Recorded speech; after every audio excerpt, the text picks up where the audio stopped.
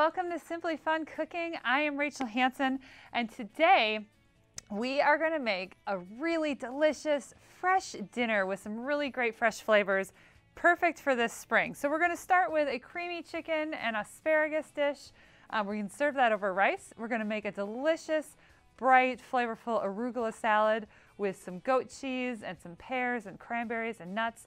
And then for dessert, we're going to make a bananas foster sandwich. So we're going to get started with our chicken. Um, I have four chicken breasts here that are thawed out, and I'm just seasoning them with a little bit of salt and a little bit of paprika. Um, and on the stove top here, we have the rock crock heated up with just a tablespoon or two of oil in there. We're getting it nice and hot.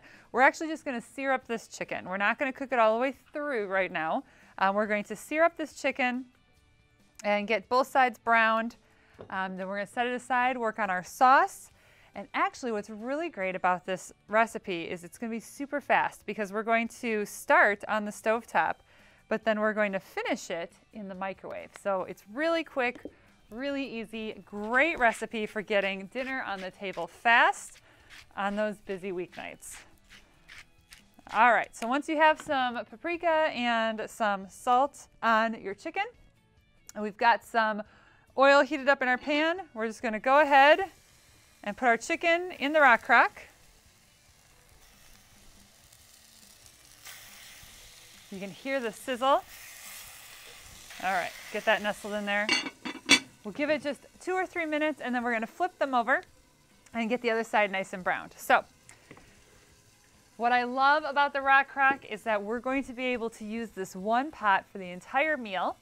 Remember I said it's going to finish in the microwave? We're going to be able to do that right in the rock crock because this, this pan can go straight from the stove top to the microwave. It can go in the oven, it can go into the broiler, it can go on the grill, it can do pretty much everything. So right now, we're searing that chicken. So when we get our chicken totally seared on each side, we are going to start working on our sauce. And for our sauce, we're going to need some garlic, some shallots, a little bit of chicken broth, and some cream cheese. So I'm going to go ahead and I'm going to use our manual food processor. We're just going to go ahead and use the garlic peeler and we're going to peel our garlic.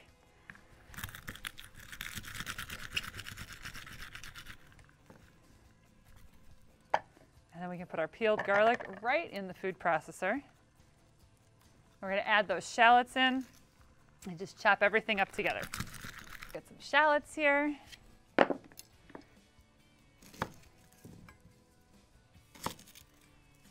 Now, just like every recipe that we make, you can control how much of these kinds of seasonings you add in, how much garlic, how many shallots. Some people like a little more, some people like a little less. I would recommend at least a whole shallot and at least two or three cloves of garlic. As always, I'm doing a little extra because that is how my family likes it. All right, we're gonna go ahead and flip our chicken here. You can see the first side is getting browned up. All right, once you have those shallots peeled and the garlic peeled, we're just gonna put that in the manual food processor and we're just gonna chop it up.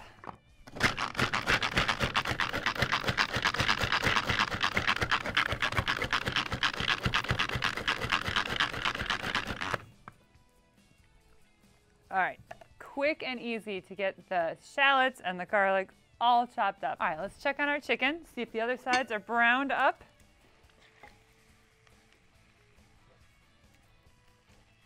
I'm gonna give it just another moment here, I think.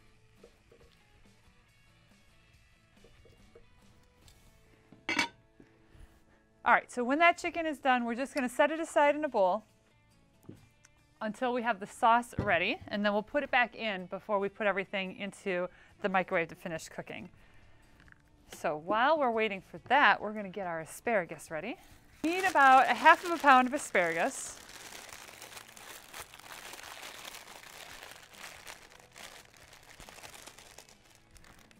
So I need about half of my package here. And you're gonna wanna make sure that you trim the ends and then cut them into about one inch chunks. So of course, the super easy way to trim those ends is just to kind of line them up and just snap them. Did you know when you do that, the asparagus will actually snap right at the end of that woody part. Takes all the guesswork out of it. So we're just going to cut it into, like I said, about one inch chunks here. And that will be all ready to add into our sauce. All right, let's set our chicken aside. And take our chicken chunks out. You can see they're browned up, lightly seasoned, and they're brown. They're not cooked all the way through. You can see some raw spots on some of them, and that's okay because it's going to finish cooking later.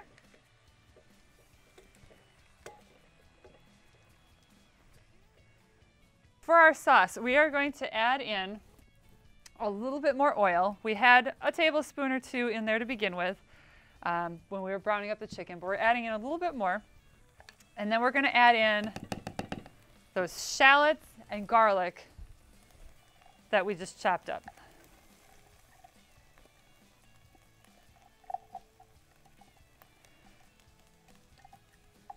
Now what we're making today, this is what we call a pan sauce. And what that means is we're making the sauce right in the pan. But what's really unique about these pan sauces and what makes them really special and really flavorful is that when we cook that chicken and we brown the chicken, there are little pieces of chicken that stuck to the pan.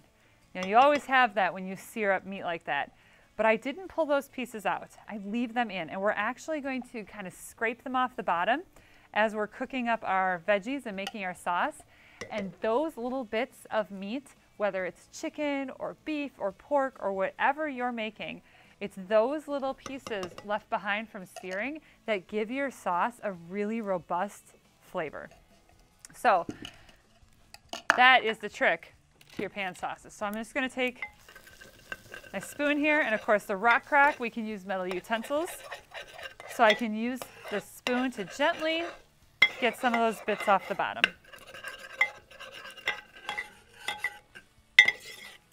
After you've kind of sauteed up the shallots and the garlic a little bit, you can see those shallots starting to soften. You've got some nice color from your from those little bits that you've scooped up from the bottom. All right, we're going to continue our sauce with some broth. We only need half of a cup of chicken broth. Let's put that in there. Start mixing it around. And then we need a block of cream cheese. So I have some that's been softening overnight, so it's ready to go, nice and melty. And we're going to put that in. And we're going to go ahead and melt that and make our sauce nice and creamy. Like and we're going to add in a little more salt. All right. So now we're just going to give this a couple minutes while that cream cheese melts slowly. Just going to kind of break it up a little bit with my spoon as we go here. You could also cut it into chunks before you put it into the, the pan, but this is so easy, why bother? All right, we're gonna let that keep. We're gonna let that keep melting, get all that cream cheese melted. Uh, we'll get everything mixed together. We're gonna get some um, lemon sliced. So on this dish, once our sauce is ready, what we're gonna do is we're gonna add our chicken back in. We're gonna kind of nestle it in there with the asparagus and we're gonna put some fresh lemon slices on top. And then we'll cover that, we'll put it in the microwave for eight minutes and then it'll be done and ready to go. So let's get our slices all ready here. Now the lemon, with that chicken and the asparagus is going to give it some really nice bright flavors. That'll help pull it all together. All right, we've got our cream cheese all melted. We've got a nice thick sauce here. And we're going to get our chicken put back in there, but first we're going to season it up a little bit more. We're going to add some more of that paprika and mix that in. Just give it some real nice color, real great flavor. So we're gonna mix this in.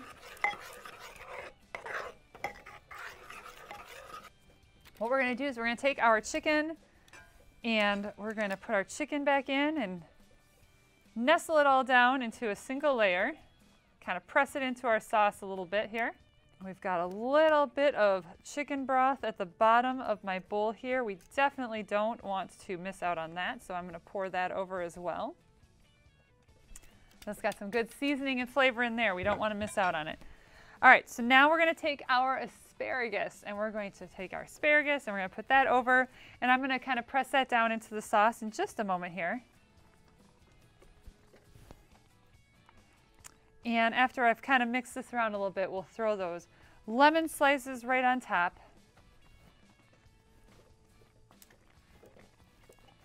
Just spread this around a little bit here.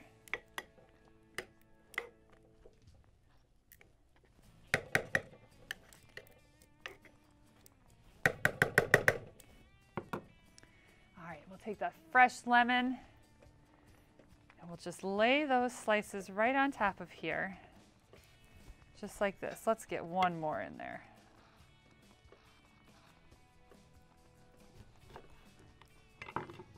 All right, so we're gonna take this off the heat and right now all we need to do is we can cover this and then we're gonna put this in the microwave, like I said, for about eight to 10 minutes and then it'll be all good to go. Now we're gonna serve this over rice. We've got that beautiful thick sauce and it's gonna be great on that chicken, but we wanna use up that sauce. So I actually have some, just some regular basmati white rice ready to go.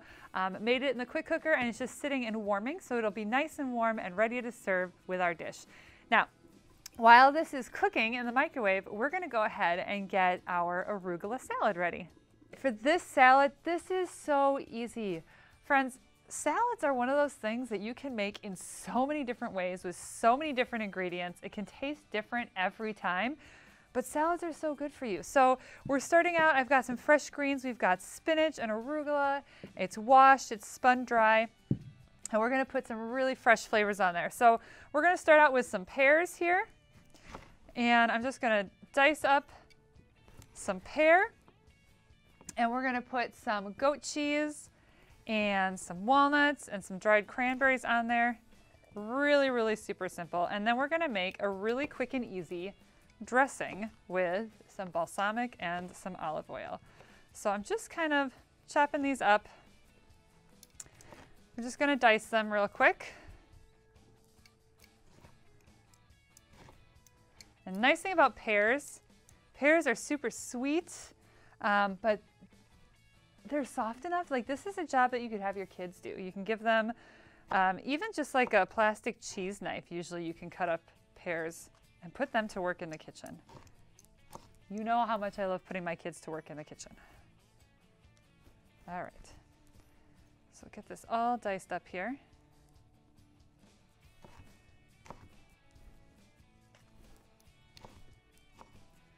And we're just gonna pop this on top. We'll get everything all tossed in just a moment here. All right, so there we've got a pear. And we're gonna add in some dried cranberries.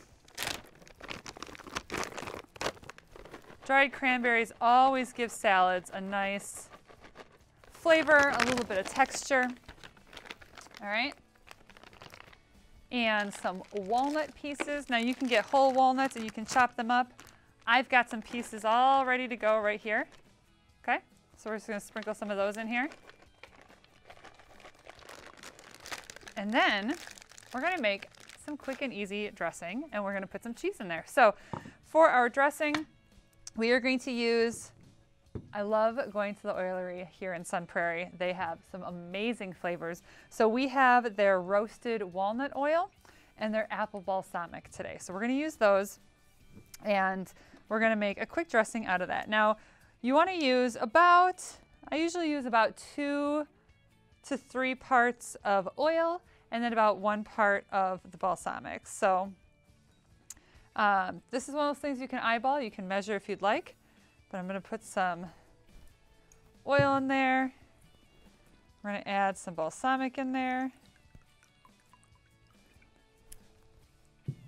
Making your own dressing is quick, it's easy, it's fresh, you know exactly what's in there, so it's super healthy. You can get exactly the flavor you want. So a little bit of salt, a little bit of pepper, and then we're just going to whisk this together.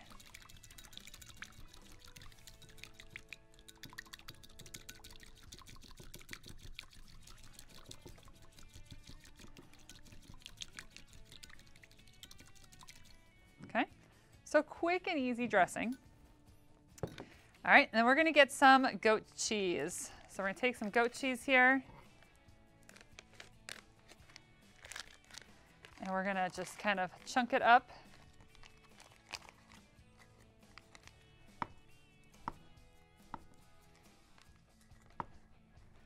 Goat cheese will kind of crumble on its own as you try to chop it up, which is perfect.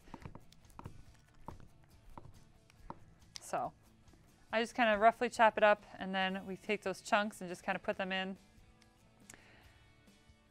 And it'll break up some more as we mix our salad. So there's our goat cheese.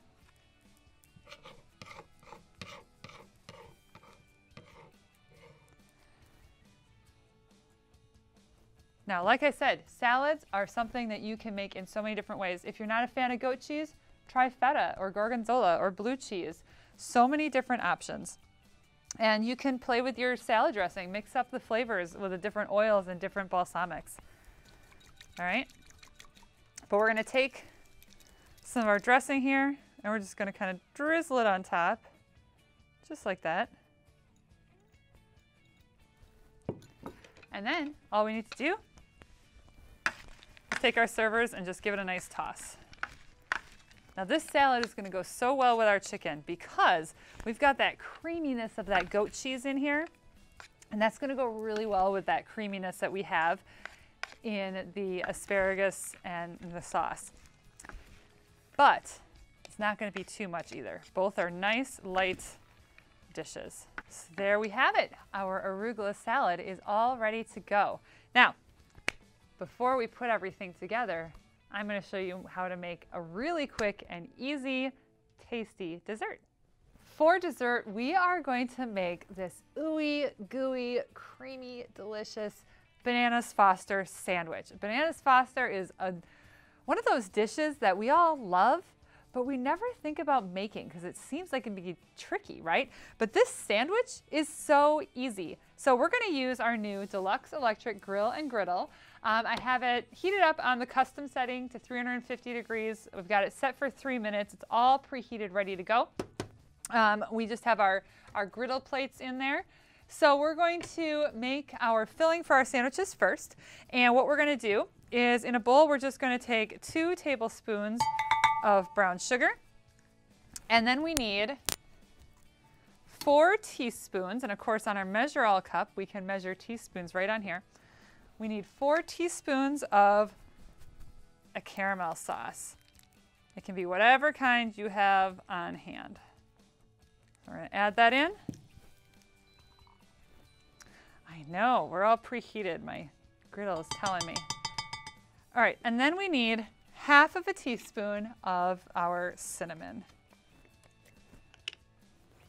So we're to get half a teaspoon of cinnamon in there. We're going to go ahead and mix this together.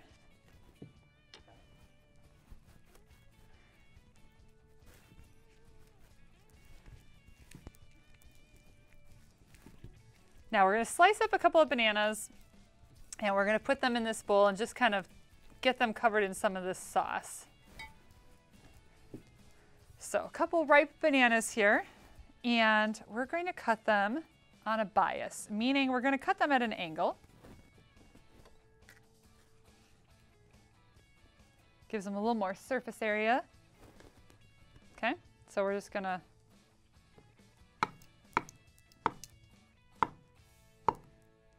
kind of give them a quick chop here.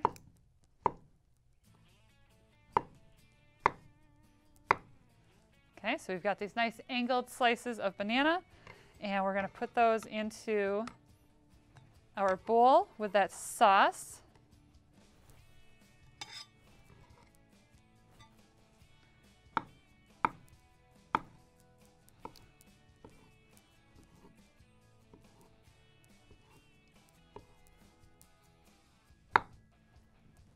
All right. So once you have your bananas in there, we're just going to give it a gentle mix here to get some of that brown sugar and caramel and cinnamon on all of our banana slices. Now that sauce looked a little bit thick when we first put it in there, um, but when you have a little bit of moisture from those bananas, it'll help thin it out a little bit. And you can see that with just a little bit of mixing, it coats them really quite nicely. So then you're gonna wanna take some nice French brioche bread, okay? Now you can use whatever kind of bread you have on hand if you don't have brioche, but some brioche will be really good for this dish. And we're gonna take our pieces of bread here, and on one side, we're just gonna line up some of our banana slices. So I'm just gonna put a layer of our bananas down.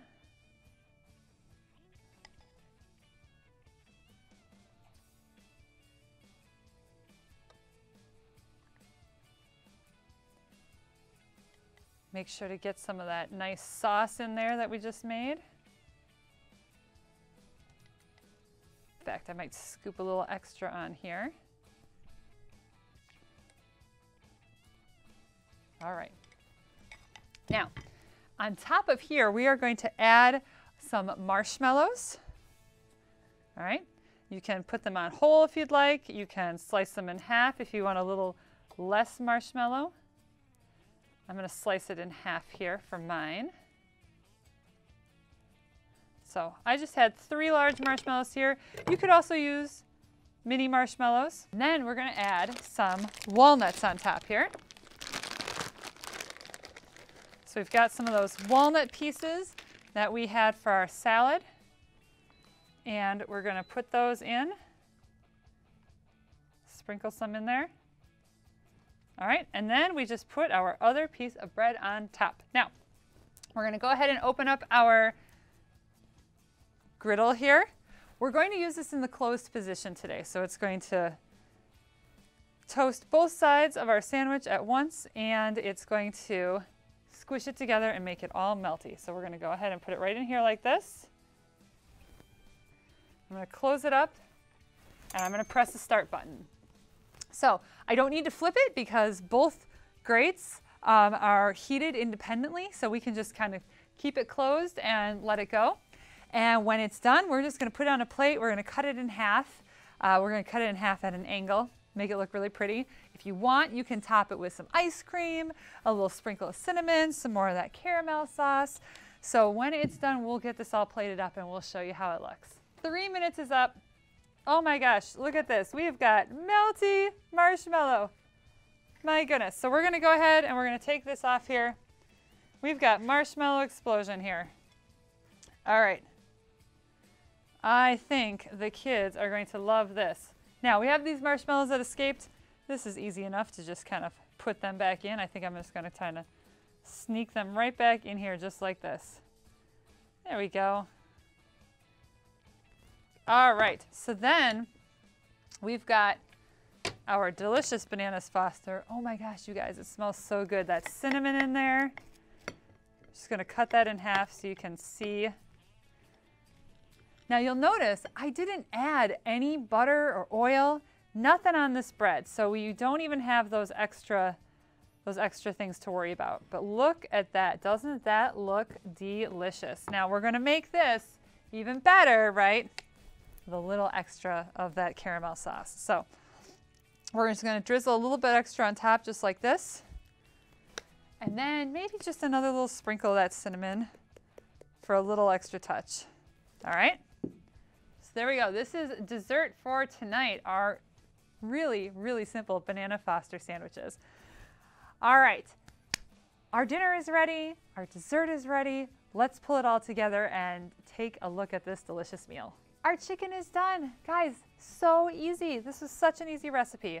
All right, so we are gonna get all dished up ready for dinner. We're gonna get some of this amazing arugula salad with the arugula and the spinach. And we've got the crunch of some walnuts in there, the sweetness of the pear, the creaminess of the goat cheese, the texture of those cranberries. And then, of course, those robust flavors from the walnut flavored olive oil and the apple balsamic really pulls it together. So we've got that going here. We've got our rice that has been sitting here, staying warm. We're going to get some of our rice on our plate here. And that is going to be the base for our chicken. So check this out. Look at that steamy, amazing chicken. Oh, it smells so good. I wish you guys could smell it. All right, we're gonna just take some of our chicken here, get some of that sauce, that asparagus, and we're gonna put that right over our rice.